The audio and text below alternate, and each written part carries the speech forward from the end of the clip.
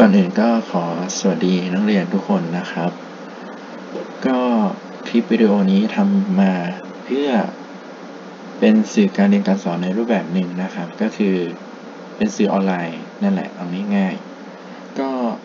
นักเรียนสามารถเรียนได้ทุกที่ทุกเวลานะครับ ขอแค่เชื่อมต่ออินเทอร์เน็ตเราก็สามารถศึกษาหาความรู้ได้นะครับ ทีนี้สิ่งที่มาสเตอร์จะมาอธิบายให้พวกเราฟังเนี่ยก็จะเป็นใน รายวิชาคณิตศาสตร์พื้นฐานนะครับ หัวข้อแรกที่จะสอนพวกเราก็คือ จะเป็นหัวข้อที่ชื่อว่าเซตบทแรกที่เราต้องเรียนก็คือเซตนะครับเซตคืออะไรเซตมีกี่แบบ รูปร่างหน้าตาเป็นแบบไหน อันนี้คือสิ่งที่จะมาอธิบายในคลิปวิดีโอนี้นะครับ ทีนี้ ในเรื่องของเซตเนี่ยเป็นพื้นฐานเลยนะครับ ในรายวิชาคณิตศาสตร์พื้นฐานก็คือว่าเราจำเป็นต้องเรียนเนื้อหาเรื่องนี้ก่อน เพราะว่าในบทถัดไปเนี่ยเราจะเอาความรู้ที่เราเรียนในเรื่องเซตเนี่ยเอามาประยุกต์ใช้พูดง่ายก็คือเราต้องเรียนมันก่อน ไม่อย่างนั้นบทอื่นๆเนี่ยเราจะไม่ค่อยเข้าใจในเนื้อหาสาระของมันนะครับ ก่อนอื่น อันนี้ก็เป็นรายวิชาคณิตศาสตร์พื้นฐานนะครับ รหัสก็คือค31101 อันนี้เป็นมาตรฐานตัวชี้วัดนะครับ ก็ลองอ่านดูได้นะผู้สอนหรือผู้ที่กำลังบรรยายให้เราฟังอยู่ก็ชื่อว่ามาสเตอร์วรภาสนะครับ รับผิดชอบ ในรายวิชาคณิตศาสตร์พื้นฐานของนักเรียนระดับชั้นมัธยมศึกษาปีที่ 4 ทีนี้เนื้อหาที่ต้องเรียนในครั้งที่1นนะครับ ก็จะมีทั้งหมด 5 หัวข้อด้วยกัน หัวข้อแรกก็คือการเขียนเซตแบบแจกแจงสมาชิก กับแบบบอกเงื่อนไขก็คือการเขียนเซตมี 2 แบบ หัวข้อที่ 2 คือเซตว่าง เซตว่างคืออะไรหน้าตาเป็นแบบไหน ก็เดี๋ยวจะอธิบายให้ฟังนะครับ หัวข้อที่ 3 คือเซตจำกัด หัวข้อที่ 4 เซตอนันต์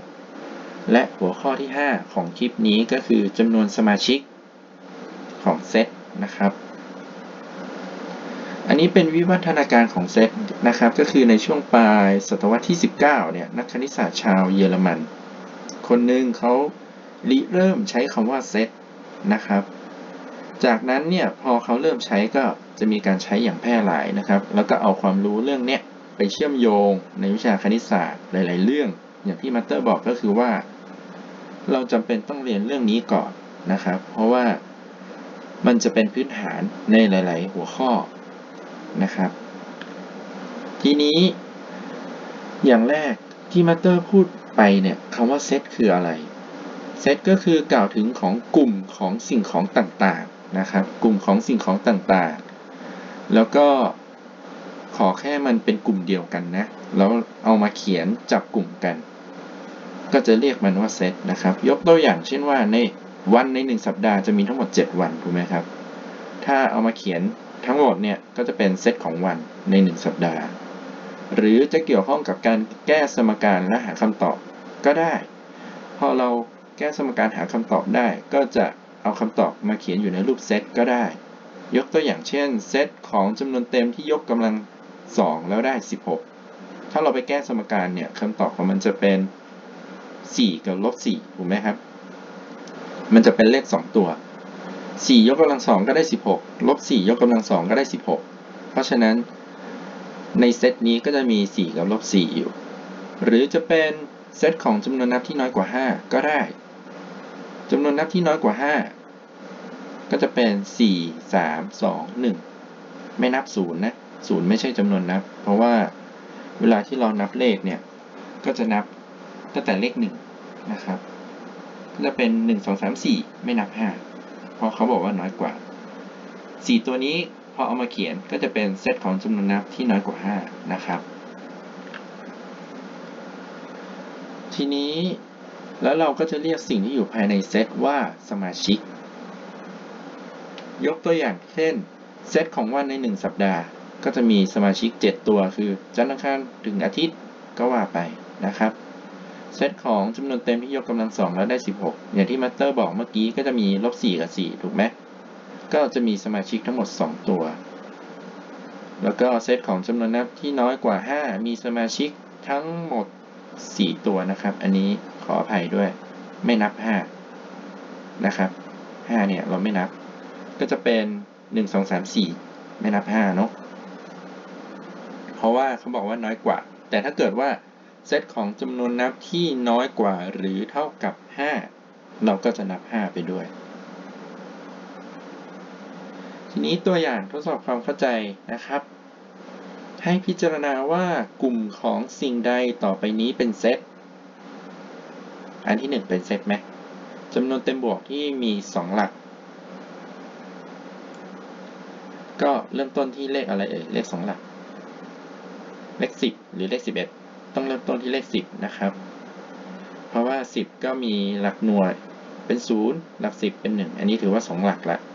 10 11 12 ไปเรื่อยๆ จนถึง 99 อันนี้ก็เป็นกลุ่มหนึ่ง เพราะฉะนั้นก็นับว่ามันเป็นเซตนะครับ ถัดไปจำนวนเต็มลบ ก็มากสุดคือลบ 1 ลบ 1 ลบ 2 ลบ 3 ไล่ไปเรื่อยๆ นะครับอันนี้ ก็นับว่าเป็นเซตอย่างหนึ่งเพราะเป็นประเภทเดียวกันนะครับ คนที่สวยที่สุดในม .4 อันนี้ไม่ใช่เซตนะครับ ดูง่าย ๆเลย สัตว์ที่น่ากลัวที่สุดก็อันนี้ก็ไม่ใช่เซตนะครับ เพราะว่าแต่ละคนกลัวไม่เหมือนกัน อันนี้ไม่นับเนาะพอเข้าใจไหมทีนี้วิธีการเขียนเซตก็จะมีทั้งหมด 2 แบบนะครับ แบบแรกก็คือแบบแจกแจงสมาชิก ก็คือเรารู้ว่ามันมีอะไรบ้าง เอาง่ายๆก็คือเราพอสามารถเขียนได้อะนะครับ ทีนี้การเขียนเซตเนี่ยก็สำคัญเริ่มแรกเลยต้องใส่ปีกาก่อนนะครับ ปีกาใส่ที่หัวกระท้ายนะ แล้วข้างในปีกาเนี่ยจะเป็นสมาชิกนะครับ แต่ละตัวใช้คอมมาขั้นนะครับ อีกแบบหนึ่งก็จะเป็นการเขียนแบบบอกเงื่อนไขก็คือในเนี้ยจะมีตัวแปรเข้ามาเกี่ยวข้อง หลังตัวแปรก็จะมีเงื่อนไขของมันกำกับ เดี๋ยวจะให้ดูในสไลด์ถัดไป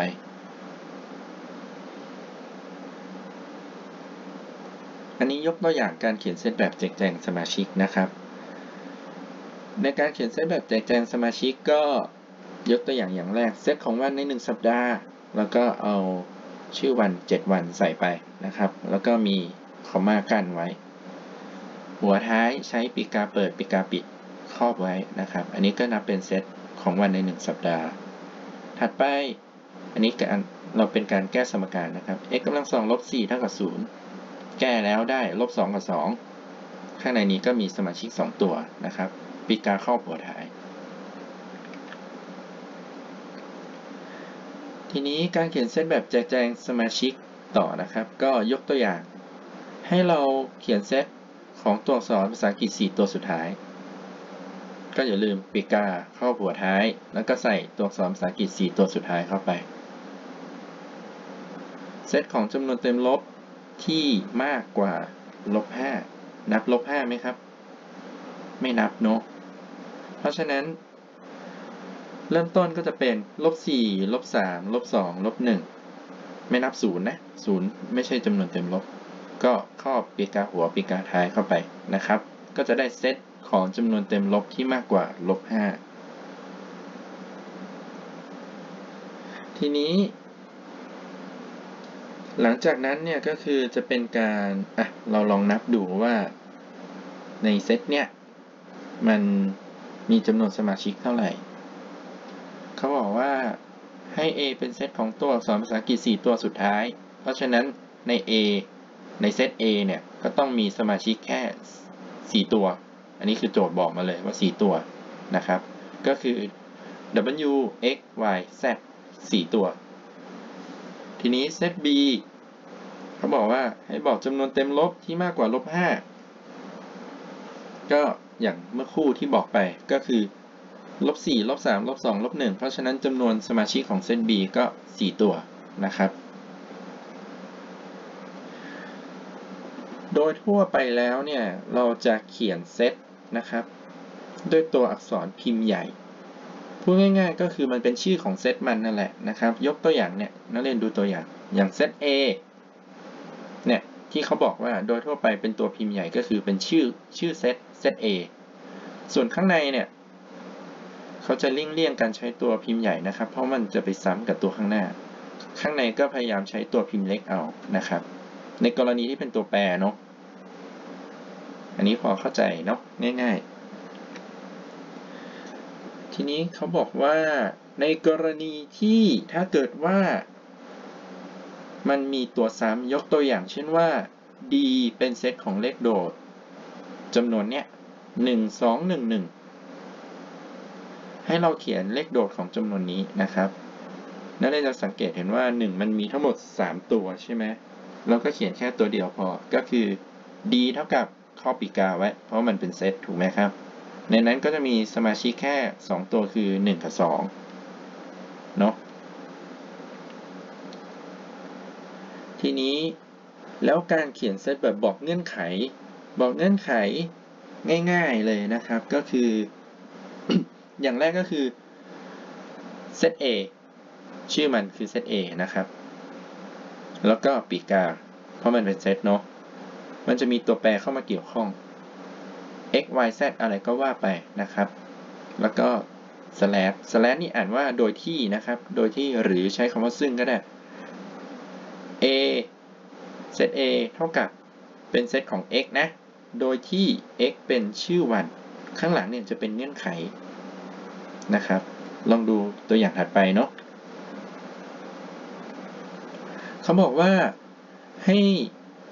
เขียนเซต b เป็นเซตของจำนวนคู่ เพราะฉะนั้นอันดับแรกสุดนักเรียนก็จะเขียน b ที่เป็นตัวพิมพ์ใหญ่นะครับ b เท่ากับเปิดปีกาไว้ ข้างในก็จะเป็น x นะ แล้วก็โดยที่คือ slash นะครับ แล้วก็เขียนไป โดยที่ x เป็นจำนวนคู่ อันนี้พอเข้าใจนะครับ ทีนี้ ข้อที่2เขาบอกให้เขียน c set c แล้วก็สอดคล้องกับสมการนี้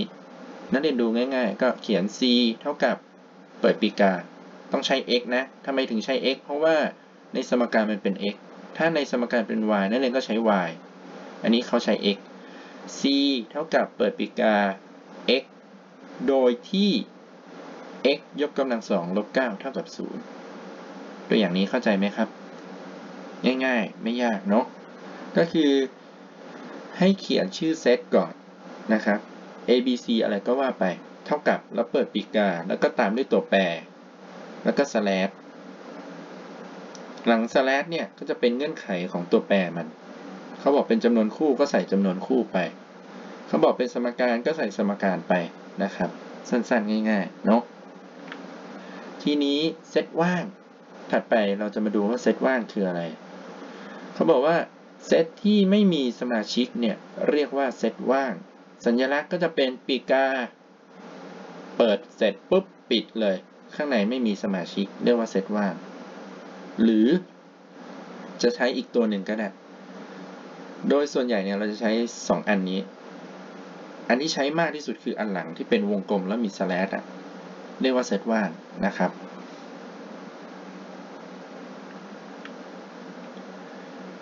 ตัวอย่างของเซตว่างนะครับ ก็ยกตัวอย่างเซต b เท่ากับเป็นเซตของ x โดยที่ x เป็นจำนวนจริง แล้ว x บวก1เท่ากับ x มีตัวเลข ตัวหนึ่งบวกด้วย1แล้วได้เลขเดิมมีไหมฮะ ไม่มี ไม่ใช่ศูนย์นะ ถ้า0บวก1ก็จะเท่ากับ1เพราะฉะนั้นในเมื่อถ้าเราหาคำตอบไม่ได้เนี่ย เพราะฉะนั้น b ก็จะเท่ากับเซตว่างใช้ในกรณีที่เราหาคำตอบไม่ได้นะครับ ไม่ใช่คำตอบเป็นศูนย์แล้วตอบเซตว่างนะศูนย์ไม่ใช่เซตว่าง ทีนี้อีกตัวอย่างหนึ่งเซตของ c c เท่ากับเป็นเซตของตัวแปร x นะ โดยที่ x เป็นจำนวนเต็มบวกที่อยู่ระหว่าง 1 กับ 2 เราก็หาไม่ได้ที่เป็นจำนวนเต็มนะครับ เพราะว่าระหว่าง 1 กับ 2 ก็จะเป็นทศนิยมหรือเศษส่วนอะไรก็ว่าไปนะครับ มันไม่มีจำนวนเต็มที่อยู่ระหว่างเลข 2 เลขนี้ ก็เลยตอบว่า c เท่ากับเซตว่าง ตัวอย่างเซตว่างผ่านนะ ทีนี้เซตจำกัดคืออะไร เอาง่าย ๆ สรุป ใจความสั้นๆว่าเซตจำกัดก็คือเซตที่เรารู้จำนวนสมาชิก ในเซตนั้นนะ่ะก็ยกตัวอย่างอย่างกรอบสีเทาเห็นไหมครับเซตของ1ถึง20 ก็คือเรารู้ว่ามันในนั้นนะมันมี 20 ตัว เพราะฉะนั้นอันนี้นะว่าเป็นเซตจำกัด หรือเซตของจังหวัดที่มีคำว่านครผสมอยู่ก็นครปฐมนครนายกอะไรก็ว่าไป คือเรารู้อะมันมีไม่กี่ตัวนะครับ เรียกว่าเซตจำกัด เซตอนันต์ก็คือตรงข้ามกับเซตจำกัดเมื่อกี้ก็คือเซตจำกัดคือเรานับได้ว่ามีกี่ตัวถูกไหมครับ เซตอนันต์ก็คือเรานับไม่ได้ โดยปกติเซตอนันต์เนี่ยแยกง่าย ๆ ก็คือ มันจะมีจุดจุดจุดอยู่ข้างหลังเนี่ยตรงท้าย แบบนี้เรียกว่าเซตอนันต์คือเราไม่รู้ว่ามันมีกี่ตัว 1 2 3หลังจากนั้นก็4 5 6 7ก็ไล่ไปเรื่อยๆ ไม่รู้ว่าตัวสุดท้ายเป็นตัวอะไร เรียกว่าเป็นเซตอนันต์นะครับ ทีนี้แยกประเภทก่อน ประเภทของเซตว่างเซตจำเซตจำกัดเซตอนันต์นะครับ อย่างข้อที่1เซต A A เป็นจำนวนนับ อันนี้เรารู้ใช่ไหมหนึ่งสองสามไล่ไปเรื่อยๆ ถามว่ารู้ไหมว่าตัวสุดท้ายเป็นอะไร ถ้าไม่รู้ก็ตอบเป็นเซตอนันต์ ถัดไปข้อที่ 2 เซต B ก็คือจำนวนเต็มลบที่มากกว่าลบ1มีเลขจำนวนเต็มลบที่มากกว่าลบ1ไหม ไม่มี ถ้าไม่มีก็ตอบเซตว่างถัดไปข้อ 4 อันนี้เรารู้เราพอนับได้ 2 4 6 8 ไปเรื่อยๆ จนถึง 68 ตอนนี้ยังไม่รู้ว่ากี่ตัวก็ว่างๆก็ไปลองนับดูนะครับ แต่มันนับได้อะว่ามันมีกี่ตัว ก็ตอบเป็นเซตจำกัด อย่างข้อที่4ก็คือ x บวก3ได้ 20 อันนี้หาคำตอบได้ก็เป็นเซตจำกัดนะครับ ทีนี้ประเภทของจำนวนที่เราเอาไปเขียนในเซตแบบบอกเงื่อนไขนะครับ ก็ยกตัวอย่าง i บวกเนี่ย i บวก ก็คือจำนวนเต็มบวกนะครับ มีอะไรบ้างก็ 1 2 3 ไล่ไปเรื่อยๆ แต่ถ้าเป็น i ลบ i ลบก็คือจำนวนเต็มลบนะครับ ก็เริ่มต้นลบ1ลบ2ลบ3ไล่ไปเรื่อยๆนะครับ แต่ถ้า i แล้วไม่มีบวกกับลบ เรียกว่าเป็นจำนวนเต็มก็คือครอบคลุมทุกประเภท คือจำนวนเต็มลบก็ได้ เต็มศูนย์ก็ได้ เต็มบวกก็ได้ ในกรณีที่มันไม่มีเครื่องหมายบวกลบนะครับ ส่วน n เนี่ย n คือจำนวนนับ เริ่มต้นที่เลข1เนาะ1 2 3ไล่ไปเรื่อยๆนะครับ ถัดไปก็คือ r r นี่คือจำนวนจริงนะครับ ก็ที่ใช้คร่าวๆที่เขียนเงื่อนไขของการเขียนเซตแบบบอกเงื่อนไขเนี่ย ส่วนใหญ่ก็จะใช้ประมาณเนี้ไม่กี่ตัวนะครับโอเค ในคลิปนี้ก็ขอจบเพียงเท่านี้นะครับ เดี๋ยวติดตามคลิปถัดไปได้นะครับ